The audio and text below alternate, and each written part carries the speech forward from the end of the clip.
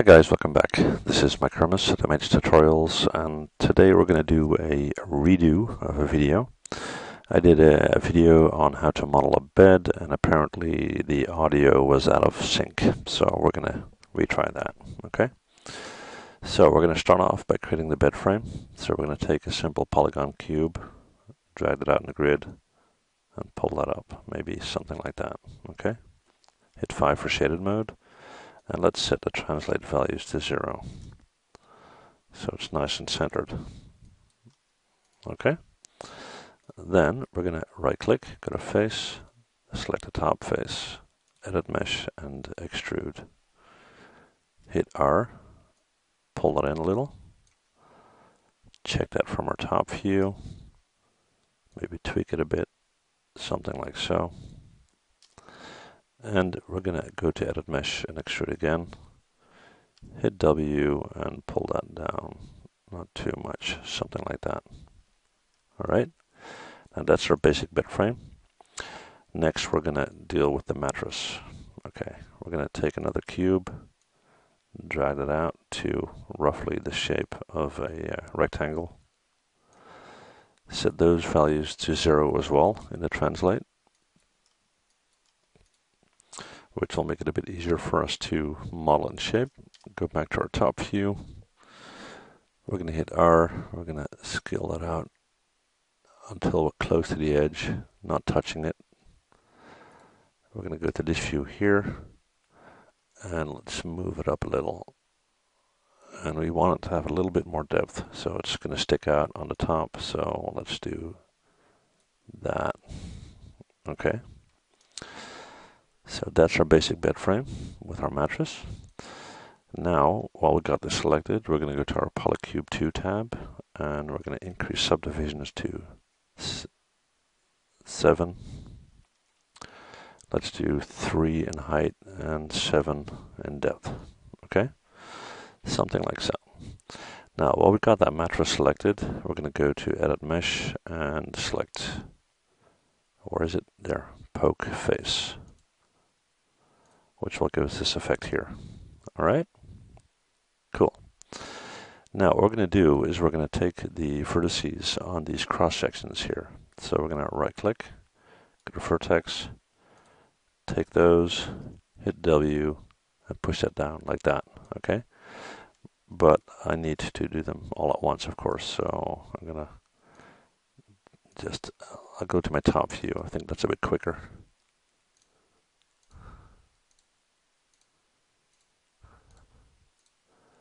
I'll try to do this as fast as possible. So just bear with me for a second.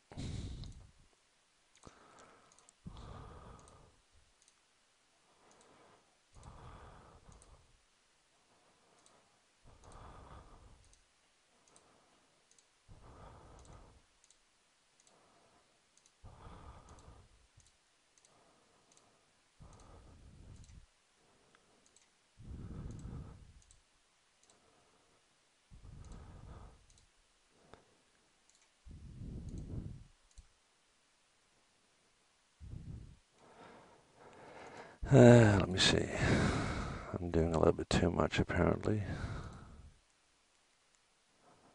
These are all good. These.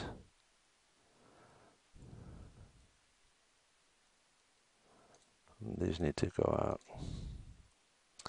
Like I said, it's a bit tricky to see that. That's good. That's good. Let's just check from this angle. It's a bit better to see. They're good. They're good. There's one below my arrow there.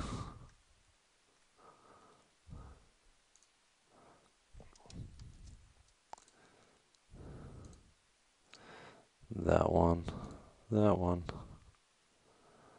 It looks like I got all of them. Alright. We're going to deselect that guy just a final check, okay? So we're going to hit W and we're going to push those down, which will give us something like that, okay? Now next, we're going to right click, go to object mode, select that, shift right click and smooth. Okay, looks like I forgot one in the middle here. So we're going to undo, and that's that one there. I'm going to push that one down as well. Okay, right click, object mode, shift right click, smooth. All right, that's our mattress. Okay, now next we are going to deal with the, uh, darn it, looks like I still forgot one. I'm sorry guys. Vertex. That one needs to go down a bit more, and that one needs to go down. All right. Hopefully now we got it. Object mode, shift right click, smooth. Yeah, okay. Pretty close. All right. So now for the pillows. We're going to create a polygon cube that roughly resembles the size of a pillow. We're going to pull that up. We're going to move it into position. Let's hit F and let's check that out, see if that works size-wise, okay? If we had one there and then one over there, that would work, okay. Now this doesn't really look like a pillow, you would think, but we'll, uh, we'll fix that. Okay, in our subdivisions, in our attribute editor, we're going to go with 7 in the width, 4 in the height, and 7 in the subdivision. Okay, like that. Still doesn't look like a pillow, right? Okay, we've got our object selected. We're going to go up to our nDynamics menu, nMesh, and create nCloth. So we did that. We're going to go to Fields. We're going to select Gravity. And in addition, we're going to select our bed frame, our mattress, and we're going to go up to nMesh and create passive collider. Now what we're going to do is we're going to inflate this pillow here. And we made these two passive colliders so the pillow won't fall straight through the bed, okay? So now that we've got that, we are going to go to our nucleus tab. All right, we've got our gravity set up, that's good. We're going to use a plane just in case later on, you know, the pillow or whatnot falls down. So we've got that. And now we are looking for our nCloth shape and we're going to go to the pressure tab. Right? We're going to increase our animation frames to let's say 200 and let's do a pressure of 1. Okay? now we're going to hit play, which will inflate our pillow, and now we're going to stop the animation at the point where we feel that the pillow looks okay. All right, so hit play.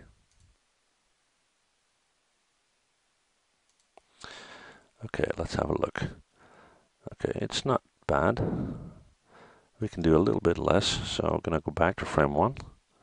Let's do 0.8 and give that a try. Bit better. I like it to be a bit fluffy, so let's see if we can approach that. 0.5. Yeah, that's better. Okay. So now that we feel okay, it looks looks okay, what we're going to do is we're going to select it.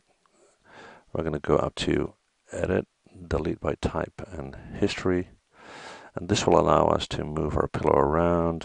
Even if we hit play, nothing will change at this point. Okay. So we're going to move this to the position that we're looking for, like that. And we're going to shift right click and hit smooth which will give us that shape. Okay, cool. Now you don't want that to be exactly straight and so forth, so we're just going to rotate it just a little bit. Hit Control D to duplicate it, W to move it over, and we're going to hit E to rotate that around so they don't, oops, wrong one, so they don't look exactly the same. Something like so. All right, cool. Okay, so now for the blanket. Now we want to have uh, a blanket look realistic, so we're going to take a polygon. Let's see if we can do a polygon plane. No, that will be too thin. We'll take a polygon cube. Okay. We're just going to give it a little bit of height, not that much. Scale it down, make it nice and thin. Okay. We're going to go to our top view. We're going to hit W, we're going to move that over. And we're going to hit R and we're going to extrude that out. So we got some blanket at both ends. And we're going to hit W and move it down a little. So it's going to be a little bit on the pillows and it's going to fold around the edges. Okay. Now we're going to pull that up a little, up there. Now this is critical. You need to have enough subdivisions Otherwise, it's not going to bend, if you know what I mean. Height, we'll leave that at 1. Okay. So it's quite a high poly, all right? So now that we've got that, we're going to go to our nDynamics menu, to nMesh, create nCloth, reselect it. We're going to go to um, Fields, select Gravity, and we're going to select our two pillows, our mattress, and our bed frame. I'm going to go to nMesh and create Passive Collider. Now, we're going to repeat the steps as before, but before we do that, we're going to select our blanket, and we're going to look at some settings. All right. Now, there are a few that we need to deal with here. I'm just uh, looking for them. Uh, okay. So the friction and the stickiness. Um, if this is too smooth, it's just going to slide off the bed. We don't want that, okay? So what we're going to do is we're going to increase friction to, let's say, 0.5 and stickiness to 0.2. That should do the trick, okay? So we're at frame 1. And again, we're going to hit play until we feel that right position that looks good, and then we're going to stop the animation, okay? So I hit play. Let's have that play out.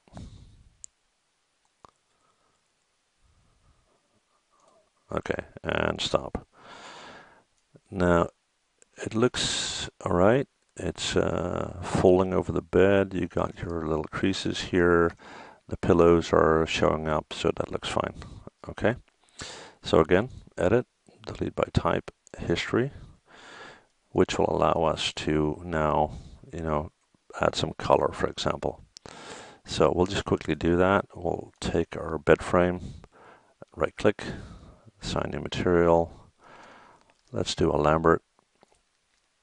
Now let's make that black. Okay. We'll take our mattress. Uh, let's uh, right click, assign new material, Lambert, and let's make that white.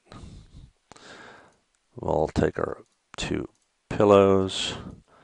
We can maybe give that some color right click, assign a material, Lambert. Let's go with a kind of red, but not that red, okay? Let's bring that down a bit. Maybe something like so. And I accidentally selected my mattress, so we need to change that back. Okay, and for our blanket, uh, let's see what we had. Uh, okay, yeah, we'll right click, assign the material, Lambert, and we'll take that red. Okay, so that will give us something like this. You can see the little indentations in the mattress through the blanket. You can see the folds. Uh, we could have made this a bit wider. What you can do, for example, is you can select that. You can right click, go to face,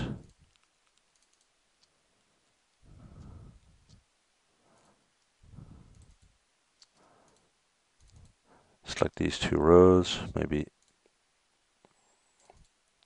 not that one. I'm trying to get that little angle here.